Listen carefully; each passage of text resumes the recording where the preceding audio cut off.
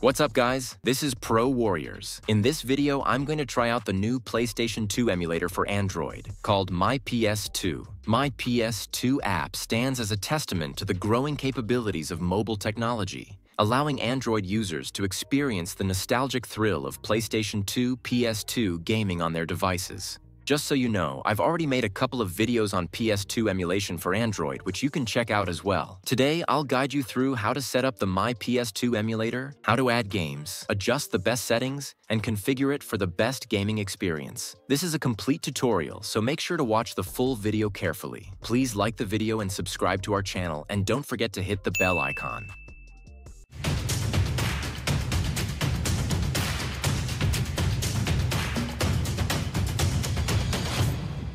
My PS2 emulator is specifically designed to replicate the PS2 gaming environment, enabling users to play classic titles without the need for the original physical discs or consoles. Before we begin, let me explain what you'll need. We will be using the MyPS2 emulator Zarchiver, a file manager, and the PS2 games that you legally own. Let's start by downloading the MyPS2 app to our Android phone. MyPS2 is built from the AetherSX2 source code and is available on the Google Play Store. So head over to the Play Store, download, and install the app. One advantage of MyPS2 is that it doesn't require any BIOS files, unlike AetherSX2 or NetherSX2.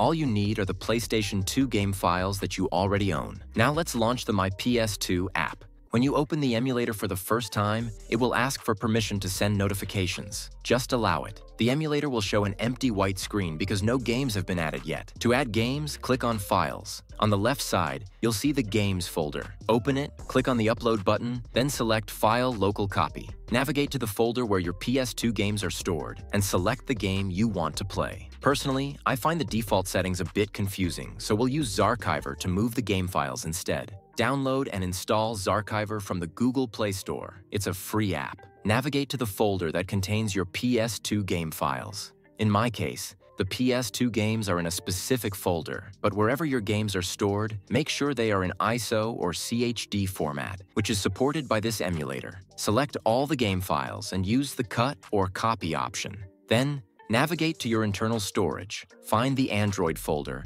and open the Data folder. Locate the MyPS2 folder, then paste the game files into the Games subfolder. It should only take a few seconds for the files to transfer. Once the games are copied, open the MyPS2 emulator, and you should now see your PlayStation 2 games listed in the Emulators menu. Let's start a quick game. As you can see, the game launches smoothly in the MyPS2 emulator. At the top, you'll find the Settings option. Here, you can enable options like showing FPS, adding a D-pad and analog stick, and adjusting the screen ratio to either 16 by 9 or full screen stretch. You can also customize the UI. Next, click on the arrow beside Settings. Then select Options. Here you can choose between the OpenGL or Vulkan renderer. You can even set the resolution up to 8K, but I recommend sticking to 1080p, which provides great performance without too much strain. If you want to save your game's progress, there's a save state option available in the emulator. Overall, I'm a bit disappointed with this emulator because I faced quite a few issues during gameplay. The control customization is limited, and the interface is a bit annoying. However, the gaming performance is solid. I was able to get 60 FPS at 1080p and 30 FPS at 4K, which is impressive. You can also try Aether SX2 and Nether SX2, which are solid PS2 emulators. If you found this video helpful, please like and subscribe to our channel. Join our Discord server if you need any help. See you in the next video. Take care.